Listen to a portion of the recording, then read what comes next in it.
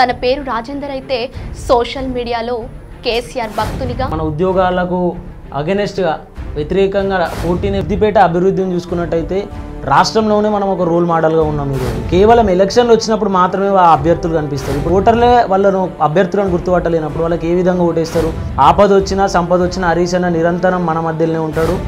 కేసీఆర్ను నిలబెట్టేది ఒక్క పథకం కాదు. చేతిలో పువ్వు పట్టుకొని సైకిల్ మీద పోయి మేము కారు గుర్తుకు ఓటేసి హరీష్ అన్నను ఆశీర్వదిస్తామని చెప్పి ప్రజలందరూ ఎన్నడో డిసైడ్ అయి ఉన్నారు.